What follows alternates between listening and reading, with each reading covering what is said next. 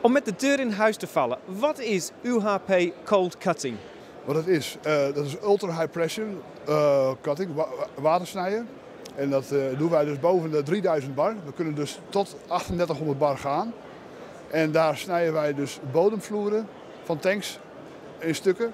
Of wij snijden doorsheets of ventilatiegaten. En alles wat er in de tank, als er een gat in de tank moet komen en er is explosiegevaar, dan kunt u ons bellen. En wat zijn de voordelen dan tegenover andere snijtechnieken? Het, is, uh, het gaat dus vijf keer sneller zeg maar, dan de bestaande technieken. Het is een stuk veiliger. Er komt geen, geen rook bij vrij. Zeg maar. Het is gezonder voor de mensen. En uh, de vergunningen zeg maar, zijn, er hoeft geen uh, hot work vergunningen af worden gegeven. Andere de werkzaamheden kunnen gewoon doorgaan. Zoals schilderen, slijpen, lassen. Wij hebben daar, wij hebben daar geen last van. Ik heb begrepen dat u zelf heel vaak naar tankfarms reist. Waarom is dat? Nou, daar reizen we heen, zeg maar. Als, het, uh, als er een uh, inspectie is geweest en het blijkt dus dat er een, uh, een, gat in de bodem zit of iets dergelijks, zeg maar. Dan gaan wij erheen dat wij met ons mobiele watersnijkunstje de bodem eruit kunnen halen.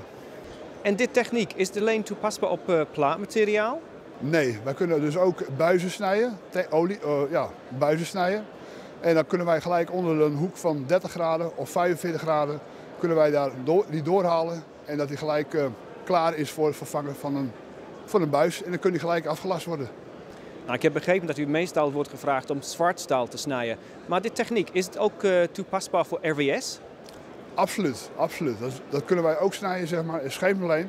En uh, we komen het niet zo vaak tegen, maar als het, als het zich voordoet, zeg maar, dan zullen we dat zeker snijden. Zeg maar.